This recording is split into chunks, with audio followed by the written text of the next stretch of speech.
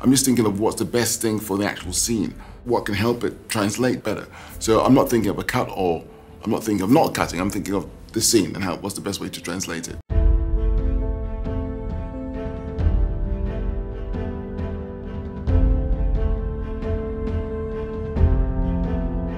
We wanted to start by looking at Lovers Rock, specifically the way that you know you sort of film time moving through London and through music as well. Music is huge in Blitz, and I was hoping you could talk a little bit about how you constructed the scene in which Celeste sings Oh Johnny Oh Johnny Oh in the Café de Paris, and it feels like there's you know some similar things there. One is live music, there's musicians, and one is a record, there's a DJ.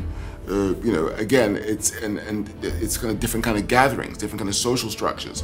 So that dictates how you film something and how you sort of uh, attempt to sort of uh, reveal it. With uh, Blitz, it was a case of the social structure. Beforehand, we, we were in another sort of party that was a, a, a party with, uh, which is mainly sort of uh, immigrant sort of party in London. This is a more hoi polloi, this is more sort of upper middle class white party. And the band, though, is entirely black, which was the case um, with Snakehips Johnson, the band leader in uh, Café de Paris. What the Blitz does is basically takes you through a certain kind of situation where we've seen before in the movie people dealing with sort of, um, you know, you know, rations and dealing with not having much. And we are entering this world where it's lavish. It's an orchestra. It's a, I think, 12 more piece band. Uh, with Snakehips Johnson, this sort of very sort of cavalier sort of band leader, almost like a wizardry ab ab about him, uh, a, a, sort of a, you know Duke Ellington-esque uh, state. So that kind of music is about the live performance, and the camera is, is, is one continuous shot. So to some extent, uh, there's actually a few cuts in it. What am I saying about? But it does show you what happens in, in the kitchen with, with the food and everything else, and coming back on the dance floor. So it just gives you a roundabout idea.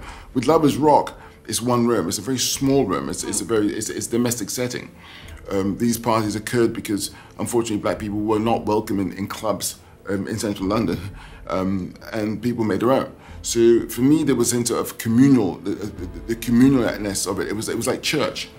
It was like church. And what happens with church is there's a situation um, where things sort of uh, gather. They sort of conjure. They sort of, there's a certain kind of uh, this crescendo, and you know, in the sense of, of, of sort of letting things in, as in people say the Holy Spirit or whatever, and that comes out in music. Again, look, most black music is, is based on, you know, a certain kind of idea of, of, of what happened, you know, you know, contemporary black music, American music, and, and West Indian music.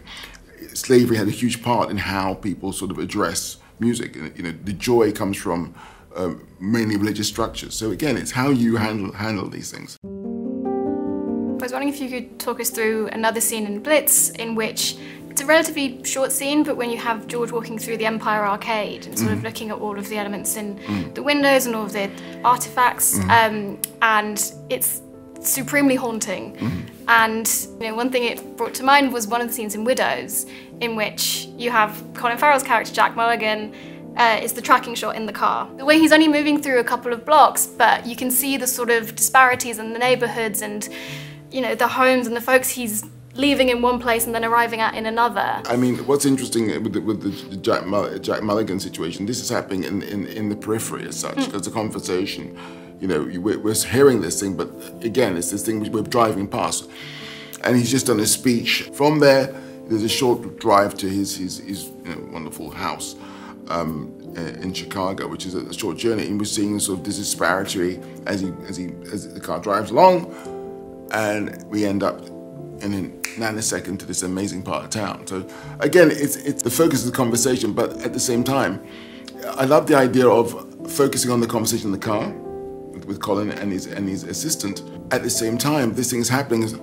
What are we? What are they talking about? What, what's that? So there's two things going on mm. at the mm. same time. It's just, it's just much more stimulating. Yeah. For, for, for, at least for me and for, I, I, imagine for, hopefully for the audience. Mm. The situation with Empire Arcade, as it was, when George gets in this, arcade, where we basically are reflections in shop windows of uh, Empire.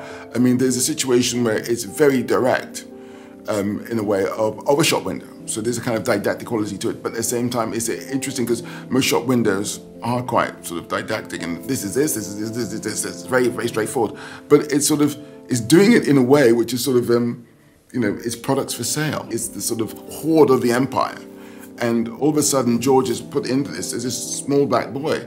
He's seeing how people portray other people. He's seeing what has been has happened. It's a, it's, it's a very, how can I say, heavy scene because he's put into sort of, it's, it's like a hall of mirrors. It's like, it's a, as you said, yes, it's, a, it's like a hall of mirrors. It's like a sort of haunted house situation where you're seeing the past in the, in the present, but presented in a sort of palatable way. It's quite sort of uh, horrific for him. It feels like when, you know, Benjamin Clementine's character, Ife, arrives at the end of that scene, it's I mean, I felt sort of relief in my heart when he arrived. Could you talk a little bit about working with him? Because I think he's just spellbinding on camera. When I was writing the, the piece for uh, the character called Ife, um, he was the person I was having in mind. Um, there's a certain kind of, um, you know, he's a, he's a gentle man in, in, the, in the real sense of the word. And he, he can translate a certain kind of empathy and a certain kind of decency. And I thought he could, yeah, he was just the perfect person for it.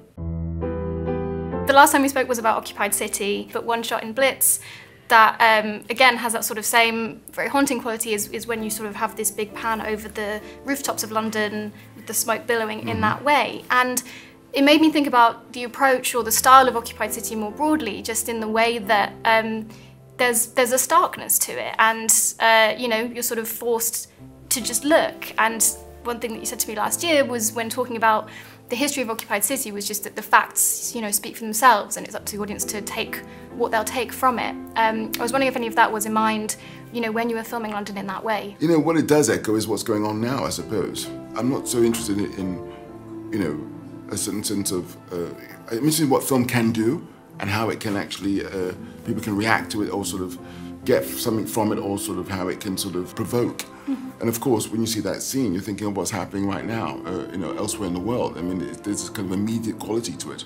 I mean, you know, our film is based in 1940, but you know, we, we could be talking about uh, 2024 for sure.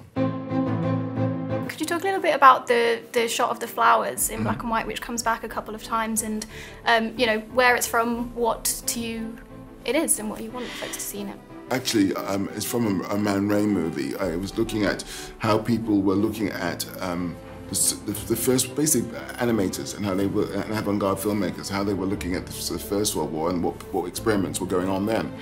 And I was just looking at these, lots of film and whatnot, and I saw the sequence, and I thought, this is kind of interesting because what it does, it, it, it is the first section of it, there's an abstract quality to it, it's, it, actually um, x-rays of rock crystals. And um, I, was, I was sort of putting that together with the sort of um, these bombers coming over the sea and the reflection of the moon, blah, blah, but obviously underneath the sea is, is salt. And it cut to this image of daisies, this sort of daisies. And what it, for me, was this sense of nostalgia of, of what things were or and could be. Know there's hope in those images of the black and white images of daisies. There's a situation of how it was and how it still it can be. It's not lost it's not lost. And I, I, do believe, obviously, that you know, otherwise I'll be throwing on myself off a bridge already. There is hope, and that is that is that is the sort of that, that's that's the want. That's, that's that's that's the want, and one could be a dream, one could be a wish, as George uh, pointed out in, in the movie.